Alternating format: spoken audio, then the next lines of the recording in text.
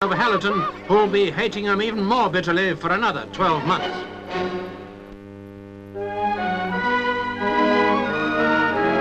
The Prime Minister's ancestral home near the small border town of Coldstream on the banks of the Tweed in Berwickshire.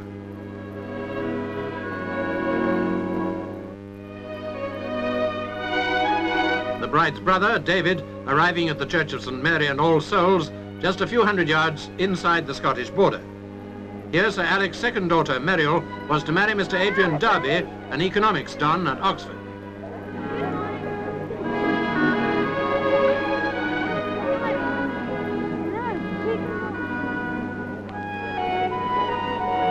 No bridesmaids or other attendants, no flowers, and instead of the more usual love, honour and obey, the bride chose the alternative vow and promised to love, honour and cherish.